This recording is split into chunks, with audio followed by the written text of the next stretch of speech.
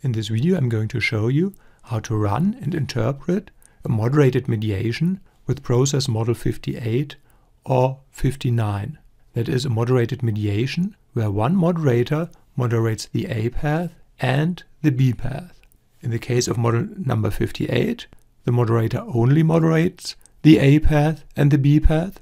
For model 59, the moderator also moderates the direct effect C prime. And I would always use model 59 because if you use model 58, but in reality the C prime path is moderated, then you can get highly biased results. So with model 59, you are safe because if the direct effect is not moderated, then you simply get a non-significant moderation for the direct effect. So please always use model 59 instead of model 58.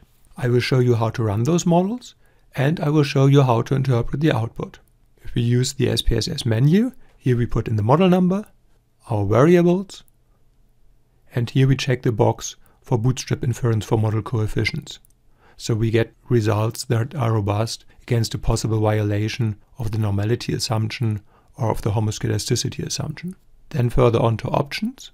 I like to set the decimal places to 3, mean centering only continuous variables, and for probing interactions, I like to use minus 1 SD mean and plus 1 SD. What's important, we need to check this box pairwise contrasts of indirect effects. The reason for that is with process models 58 and 59, we get, don't get an index of moderated mediation. That is, we don't get one value that helps us to decide whether we have a moderated mediation or not. So we have to compare conditional indirect effects to each other to conclude whether we have a moderated mediation or not. So that's it. We can run this. Of course, we could use SPSS syntax instead. This would be syntax achieving more or less the same. And we could run it with R syntax. This would be the R syntax for process model 59. The output for all three options is basically the same. That's our next step, looking at the output. First I will explain process model 59 and then I will explain the very small differences you would get if you used process model 58 instead. Here are variables and the sample size. This is the model for the A path of our mediation, in our case a possibly moderated A path. The key information is here the interaction. If this interaction is significant, then we have a moderated A path. And here it is significant. Here is the effect size for the moderation of the A path. So the moderation explains 2.7% additional variance of the mediator. If we have a significant interaction, as in this case, then we can look at the simple slopes, that is, at the conditional effects of our predictor on the mediator for three different values of the moderator. You only get this additional table for low p-values for the interaction. So if you have an interaction with a very high p-value, you won't see this table in your output. Next to the model for the B path and the C prime path, here we have two interaction because we estimate a moderation for the B path and we estimate a moderation for the C prime path. So we have to look at the product terms key, which number is which. Here int 1 is the moderation of the C prime path and int 2 is the moderation for the B path and that's the one that's primarily interesting for us. Here we can see C prime is not moderated, so we have no moderation for the direct effect. But we have a moderation for the B path, because here this is significant. Here again the effect sizes for the moderation. The moderation of the B path explains 1.4% additional variance of the dependent variable. And since we have a significant interaction for the B path, we would like to look at the simple slopes, conditional effects, so the effects of the mediator on the dependent variable for three different levels of the moderator. If the interaction for the C prime path had been significant too, then we would have seen two tables of conditional effects. One table with the simple slopes for the C prime path and a second table for the simple slopes for the B path. Here we only get a table for the simple slopes of the B path. Then to the direct and indirect effects. In other models like 7, 8, 14, 15, you get an index of moderated mediation to help you decide whether you have a moderated mediation or not. Here this is absent because it's not possible to calculate such an index for theoretical reasons if you moderate the A path and the B path by the same moderator. So we need a different strategy to decide whether we have a moderated mediation or not. If both the A path and the B path are moderated, then we can look at the pairwise contrast between conditional indirect effects. First, what are the conditional indirect effects? Those are the indirect effects for different levels of the moderator. And the pairwise contrasts compare those indirect effects to each other. So the contrasts answer the questions, are there significant differences between those indirect effects? Which is another way of saying, is there a moderated mediation? Here we can see the confident, bootstrapped confidence intervals between those conditional indirect effects are significant. And if at least one of those contrasts is significant, then we can conclude that our indirect effects differ based on the moderator, so we have a moderated mediation. Here we can see that for higher values of the moderator, our indirect effect gets smaller in the sense of more negative. However, the opposite is not true when it comes to those contrasts.